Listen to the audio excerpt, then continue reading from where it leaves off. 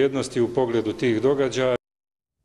Ministar unutrašnjih poslova Republike Srpske Radislav Jovičić izjavio je da su suspendovana dva pripadnika specijalne policije zbog prikrivanja pokušaja silovanja. Protiv njih je podnijeta prijava o počinjenom krivičnom dijelu, pružanje pomoći u izvršenju krivičnog dijela i da je protiv istih pokrenut unutrašnji postupak, rekao je Jovičić. Opština Berković je obilježava Vidovdan kao krsnu slavu. Svečanost je održana u prisustvu velikog broja mještana i gostiju iz cijele Hercegovine.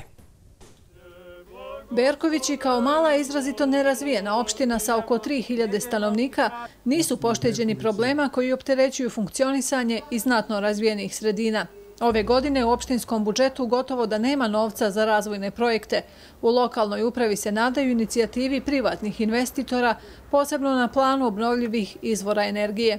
Uskoro očekujemo potpisivanje jednog sporazuma, zajedničkog sporazuma opštine Berković i italijanskih investitora kako bi se poduprijedila ulaganja u izgradnju solarne elektrane. To očekujemo do 20. jula. Sunca u Berkovićima ima dovoljno i za poljoprivredu, pa znatan broj porodica živi isključivo od stočarstva ili povrtarstva. Ove godine desetak domaćinstava dobit će subvencije za razvoj sistema za navodnjavanje.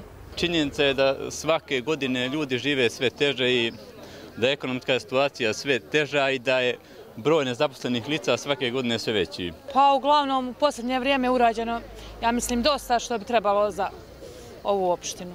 Povodom slave opštine, najuspješnijim učenicima osnovne i srednje škole i sportistima sa najboljim rezultatima dodijeljena su opštinska priznanja.